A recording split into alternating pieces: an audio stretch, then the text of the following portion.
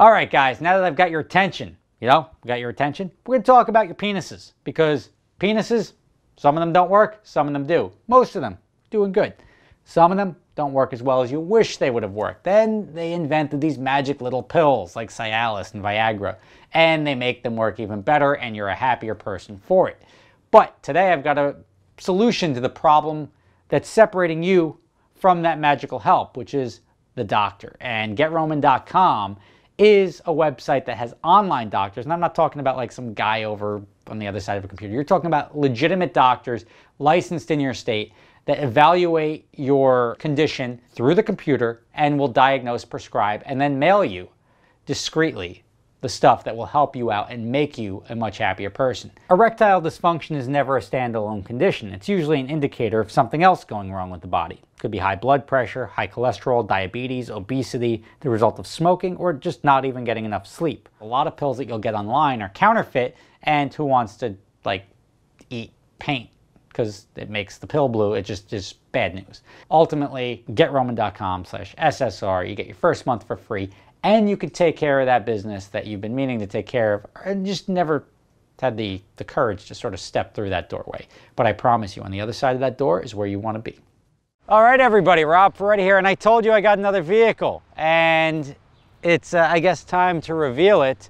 And as I walk you around down this way, half you guys are gonna be like, oh yeah, guy got a truck. Well, I don't really consider it a truck. I consider it more of a tractor because uh, it's not this, uh, it's this. And I was driving along and forgive the tire, but I saw this and I was like, you know what?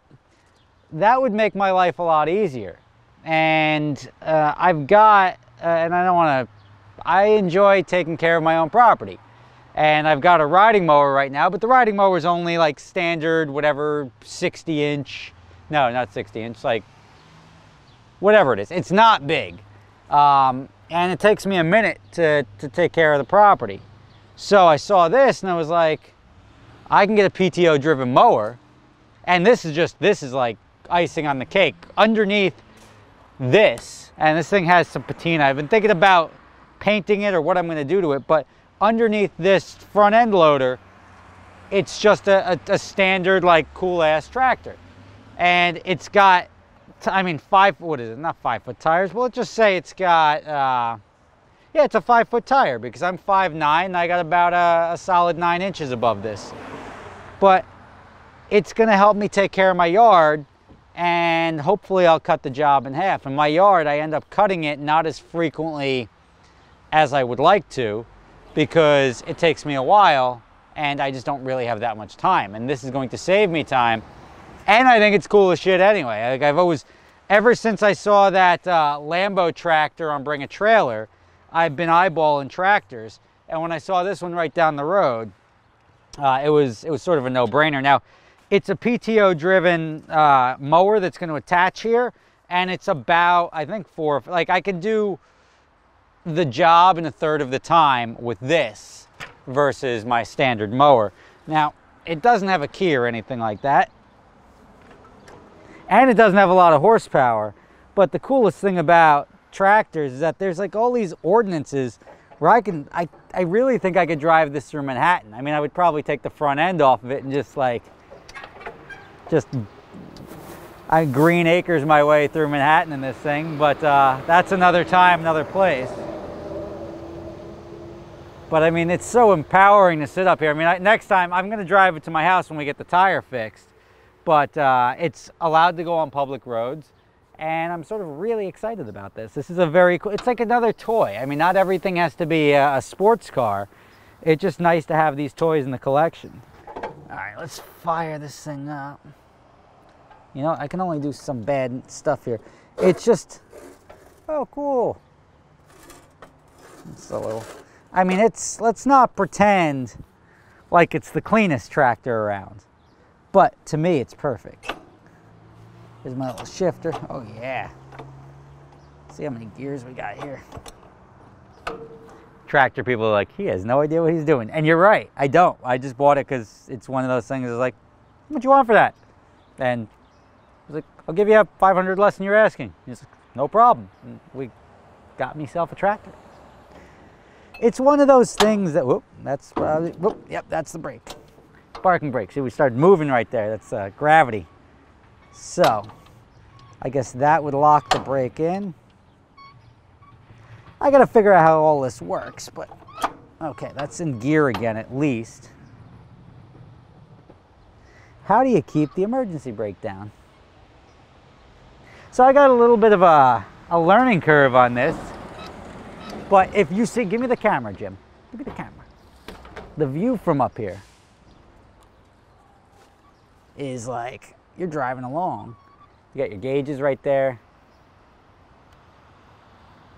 I mean, that's pretty cool. Like bopping along. You're up here. I mean, this is, that's a full-size pickup truck down there. And you're just, I'm to have to GoPro this thing and it's an incredibly simple machine.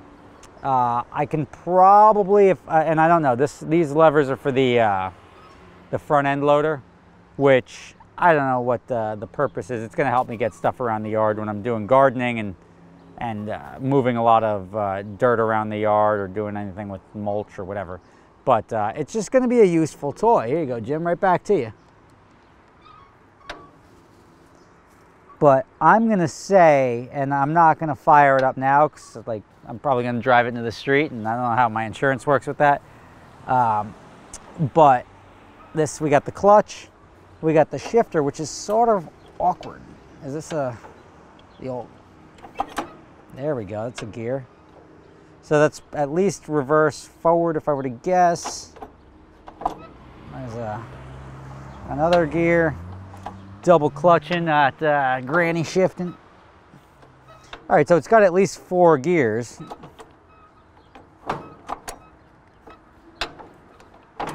Ah, maybe it's uh, five at least, whatever. It's, um, there's a lot to learn here. I can mount my little iPod down here, maybe some Beats headphones, and I can just bounce around my yard. And it's cool, like in the fall, I'm gonna, I mean, you've all gone apple picking, I hope. Uh, I'm gonna hook up one of the um, one of those uh, the, the hay rides and I'm gonna bring my kids around the yard because they love that and instead of me going and spending 20 bucks a person to do it I just handled that with one try I mean I gotta buy the the uh, what do you the trailer for it but uh, it'll be fun I'm excited for this how do I get this to stay down all right let's see this is me learning as I go so it's in gear you would think that that locks. That doesn't do anything. I'm just trying to figure out how to get the brake when I got here was locked. And I think it's got something to do with that. Oh, there you go. Look at that. I'm going to write my own instructions for this thing. But it's very cool. It doesn't go fast. I think it goes 10 miles an hour. So perfect for Manhattan. Or for cutting my grass. These tires, I mean, I've always wanted to own something with such large tires. Uh, I never wanted to replace tires so large, but I can't imagine in the 10 or 20 years that I'll own this thing that I'll ever have to swap these out. So there you go. Uh, I think this is a, is a pretty awesome pickup. I, I love the color on the truck and I am up in the air and I like just, just having a springy seat. Yeah. I mean, that's like, like, that's cool. But um, just, I was thinking about painting it like the, uh, like the Shelby paint scheme, the blue, the white with the blue stripes on it and uh, Jeff, who sold it to me, is trying to talk me out of it and saying the patina, the the the class, and not even the class, the um, the character of this is so much more attractive than a tractor that looks like that. But I think, given my car collection everything like that, a tractor that looks like if it was a Lambo tractor, even the Lambo tractor, I would have the one I was looking at was restored, but it went for like 35 grand or something stupid. But, uh, and it had tracks on it, which is cool as shit. Uh, this would be much nicer on the, uh, when I'm driving over something, grass or driveway, it's not gonna chunk it up. But I bet you didn't see this one coming. Uh, I saw this and I just sort of had to have it. And you may chalk it up to one of my dumb purchases and one of those things that, you know, when you walk through and you buy something because you need it and then you bring it home and you never use it. At least this will get use. And I, I, know what some of you guys are saying, why don't you just hire a landscaper? You know I enjoy doing it. I've always enjoyed doing it. I used to cut the grass with my parents. And even at my parents' house, we didn't have a very big house, but we had a, my dad had one of those like, uh, to save, not, not that it was saving a lot of money, but in my head it was like exercise and saving money. We had the rotational blade push mower. And I took that old school mower and I'd cut the grass with that old school mower. And I felt like I got a workout out of it and I saved some money on gas, which at the time gas was probably 80 cents a gallon. But, um, you know, I just, it's something I enjoy. Uh, I I always had a garden growing up. We had tomatoes, all sorts of fun stuff. Tomatoes, cucumbers, strawberries that always got eaten by the rabbits. But uh, I'm looking forward to having another garden and being able to use this to make my life easier because it's not that I don't enjoy doing stuff, I just don't have enough time to do stuff. So when I find a way to do stuff quicker, I'm a very happy guy. And I mean, I don't care who you are, this thing's fun. It looks fun. I mean, it's got a bucket in the front. I can lift things up. And I, uh, I've driven bigger things, to be honest with you. I've driven, uh, I've driven larger front end loaders. I've driven backhoes, all sorts of stuff. But, um, but having that big front end loader, and I used to use it for snow plowing, but I mean, you're talking the cab was up above this, the height of this tractor even. But there you go. And when I looked at it before I bought it, this was leaking. It looks like he fixed that. And the rest is going to be history. Now I'm going to have, uh, I, I don't want to bring this to my house now without getting this tire and I'll probably swap both front tires. Um, if if these tires go flat at my house, then I got to figure out a way to jack it up. And I could probably jack it up by pushing the the bucket down to lift it up, but I don't. I just don't want to play around with that. I'll just get the new tires on it, and I won't have to worry about it. Um, and if it ever needs service, I'll just have to. I don't know. Have somebody come to the house and service it.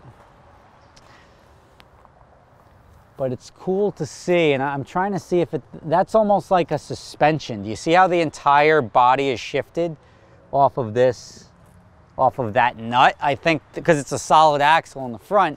I think the top shifts back and forth for a smoother ride. Yeah, buddy.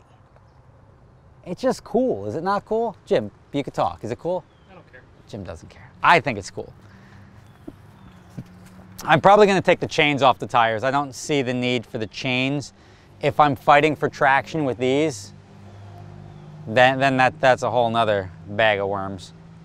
But there you are thank you guys for watching. Uh, I figured I'd throw you throw you a curveball, and I picked myself up a, a tractor, which is cool. And uh, I don't know anyone who um, who doesn't get excited about doing stuff like this and driving stuff like this. And if I do know those people, then they probably clicked off a long time ago and they didn't make it to that. Everybody that made it to this point of the video was like, yeah, I would love to get on that. And you know what? Maybe at some point in time, you'll have a chance to drive my tractor. What is it? Farmall. McCormick Farmall is the, uh, is the tractor and it's an international front end loader.